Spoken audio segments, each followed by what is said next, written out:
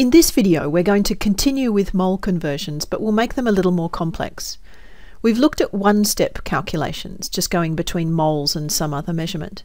Here, we'll look at converting from one of the green boxes on this map to another green box via moles. This uses exactly the same skills you developed previously, but we're just going to join two conversions together. For instance, if we need to convert between the mass of something and the number of particles in it, we would first convert from mass to moles, and then from moles to particles. If we needed to convert from the volume of a gas at STP to its mass, we would first convert from volume to moles, and then from moles to mass. So let's try this problem. What is the mass of 8.43 times 10 to the 24 molecules of ammonia?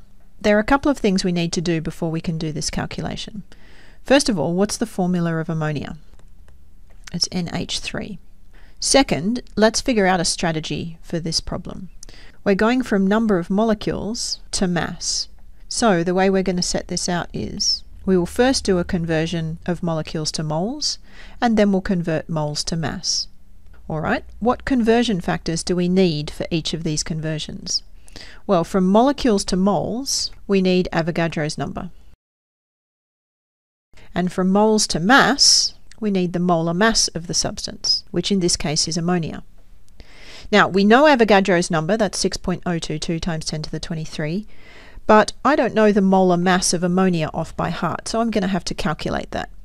So the molar mass of ammonia is going to be equal to the molar mass of nitrogen plus 3 times the molar mass of hydrogen because each ammonia molecule is made up of one nitrogen and three hydrogens. So I check the periodic table for the molar masses and I plug that into the calculator and that equals 17.031 grams per mole.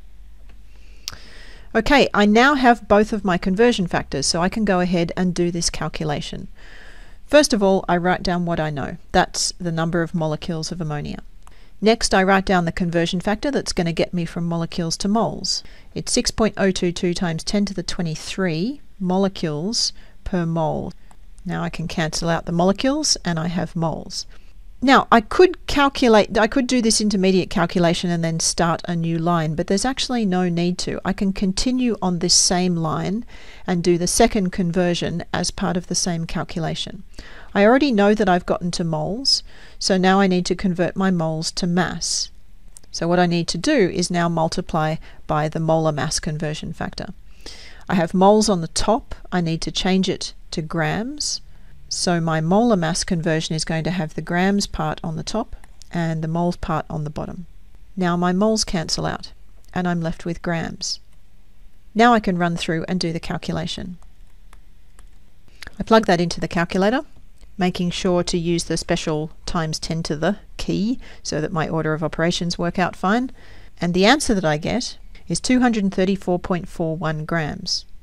If you forget the units of what you're calculating, go back to your original fractions and look for the unit that wasn't cancelled out.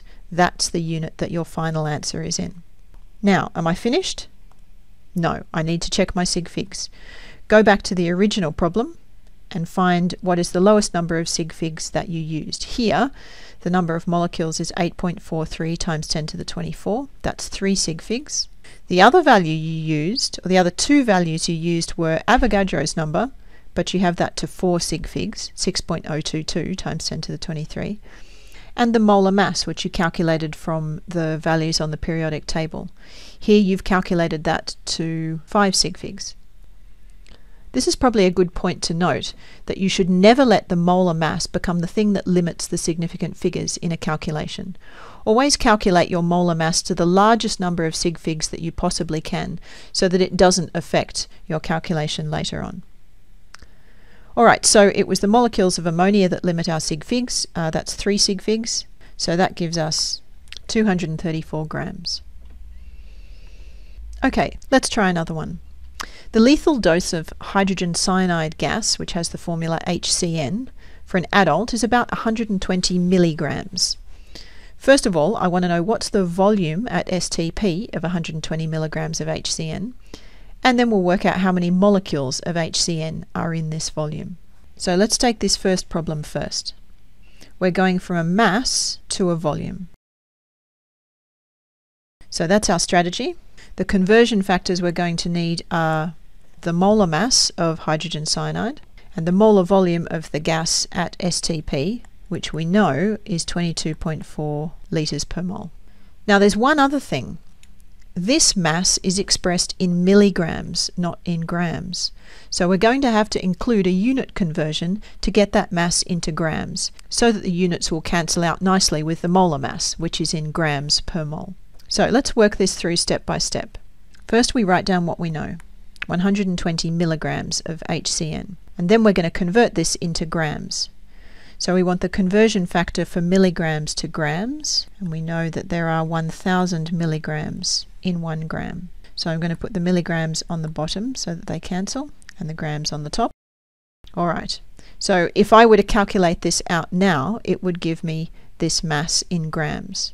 But I'm going to keep going so that I can make it one single calculation at the end, which is slightly more efficient. Okay, I have changed my mass from milligrams to grams. The next step is to change the mass in grams to moles. So I need the molar mass as a conversion. I haven't calculated the molar mass yet, so I'm going to need to go back and do that.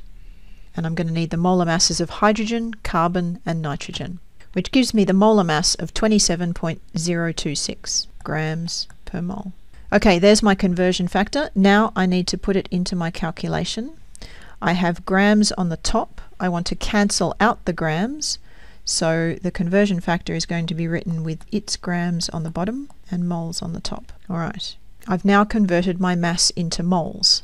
The last step of my conversion is to convert the moles into volume using the molar volume as a conversion factor. Uh, I have moles, but I want to go to litres, so I want the moles to cancel. So I'm going to write the conversion factor with the litres part on the top and the moles part on the bottom. Moles cancel and I'm left with litres. Now I run through the calculation. And when I plug that into the calculator, I don't forget to put the bottom in brackets so that the order of operations is preserved. And that gives me the answer of 0.09946 litres. I go back to check my sig figs. The original mass that I was given has only two sig figs, so I need to round this off, becomes 0.099 litres, which is about 100 mils of gas, which really isn't very much.